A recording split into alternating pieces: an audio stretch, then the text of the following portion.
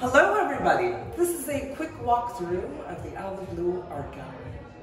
So, rather than be long-winded, I will talk very quickly. This is our festival, King of the Hill, Che Raj. If we can do some close-ups on his works, that would be great, Mariana. Thank you so much. We have our amazing house photographer, Mariana Chavdarova, doing a few quick shots. Simple, simple of our amazing festival artist, Che Raj. And if we move down here, we have Narvito Felipe de Jesus. I laughed at him that he's the Antonio Banderas of the gallery.